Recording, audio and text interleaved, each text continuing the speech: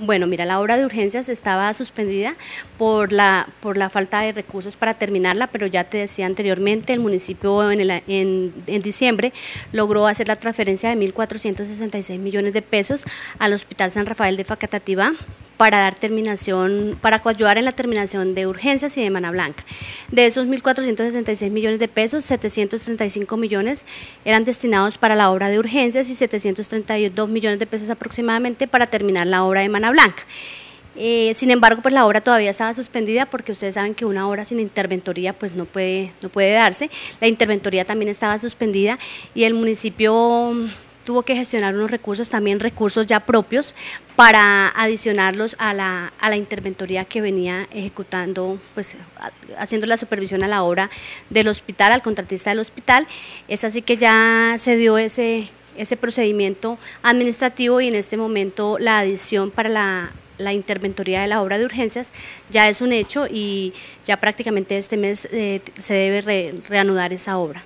Bueno, quisiéramos saber también por otro lado qué otros proyectos y gestiones vienen por parte de la Secretaría de Salud para este nuevo año que comenzó. Bueno, para este nuevo año la Secretaría de Salud seguirá ejecutando sus acciones de promoción y prevención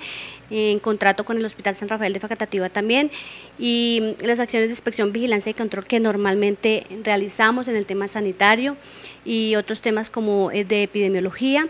Seguiremos haciendo el censo a la red prestadora de servicios de salud de nuestro municipio, haciendo los respectivos reportes a la Secretaría de Salud del departamento para que ellos vengan a hacer la revisión de la, de la habilitación de los servicios de salud y, y hacer lo pertinente en cuanto a las certificaciones que ellos tengan que emitir.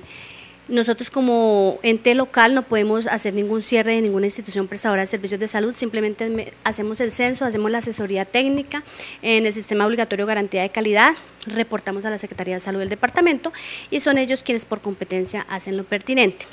Sin embargo, pues es una labor que es ardua, las seguimos haciendo. En nuestro municipio, eh, hoy puedo decir que el año pasado, se, del total de, de, las instituciones prestadoras de servicios de salud de nuestro municipio, que eran 139 a corte de diciembre, de esas 139, 135 están debidamente habilitadas. Eso pues se ha logrado con un acompañamiento del eje de prestación, desarrollo y servicios de la Secretaría de Salud, de todo el equipo que allí trabaja muy juiciosamente y que hacemos los reportes oportunos.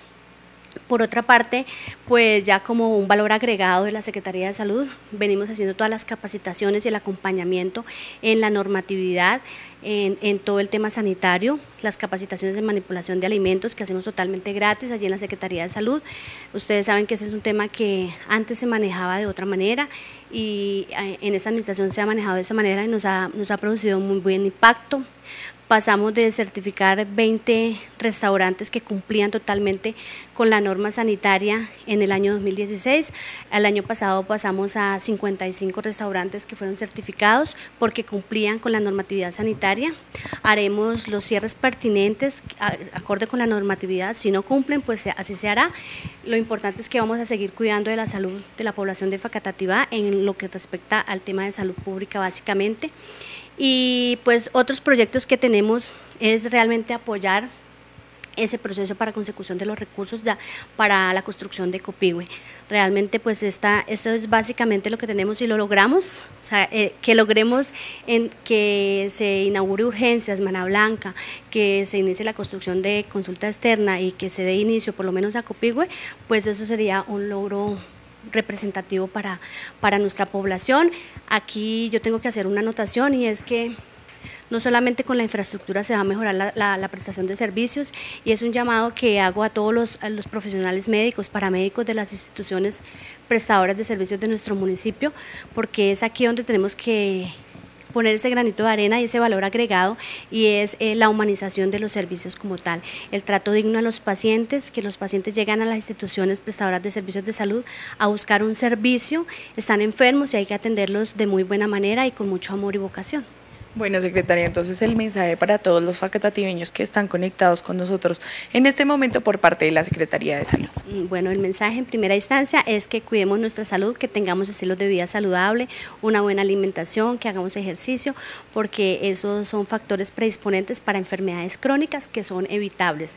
Que todos nuestros niños los vacunemos. Eh, Facatativa cuenta con coberturas útiles de vacunación. Durante los años 2016 y 2017 tuvimos coberturas útiles de vacunación, lo que nos mitigó el riesgo, nos disminuyó los índices de morbimortalidad infantil y de igual manera durante los años 2016 no tuvimos ninguna muerte materna, en el año 2017 tampoco las tuvimos y eso pues es el trabajo o el resultado, los indicadores del resultado del trabajo, de un trabajo que realmente venimos haciendo en salud pública con todo el equipo de profesionales de la Secretaría de Salud y con el apoyo y la participación de las IPS que para nosotros es invaluable.